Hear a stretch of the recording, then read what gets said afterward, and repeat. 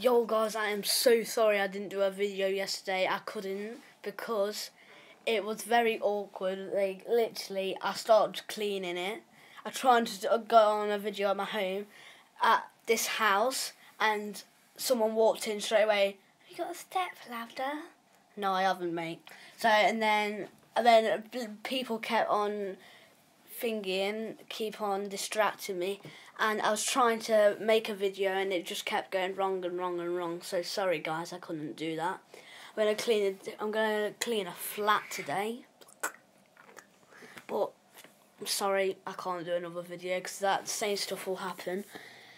So yeah, guys. Um, uh, I think that I'm gonna do Oh, no, no, no, no. Sorry about that, guys. Don't listen to me.